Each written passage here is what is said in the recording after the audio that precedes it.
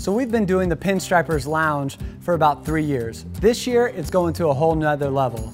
Jim Ogawa of Ogawa's Custom Designs out of Sanger has really stepped up to make this year something special. Partnering with Mack Brushes and One Shot uh, Paint Supplies, there are people from all over the West Coast converging for a reunion at the Valley Nationals Pinstripers Lounge.